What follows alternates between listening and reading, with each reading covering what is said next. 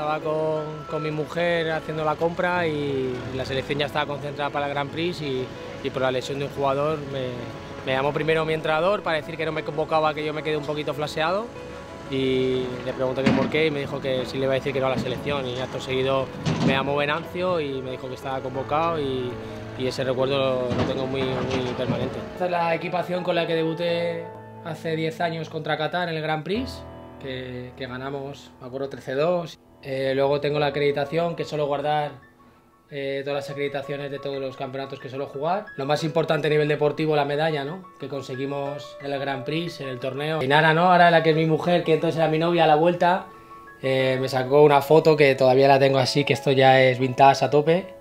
Y la tengo a nivel sentimental con mucho recuerdo por eso, ¿no? Lo que significa que fue el gol que metí a Brasil y, y a la vuelta, después de tanto tiempo, me, me la regaló y al final lo que queda es esto, ¿no? Son los recuerdos que, vivimos con los compañeros, que luego son amigos y estas pequeñas cosas. En su día una persona me dijo que, las tenía que guardar, que, que, hiciese un poquito de caso porque lo que quedaba y, la verdad que fue uno de los mejores consejos.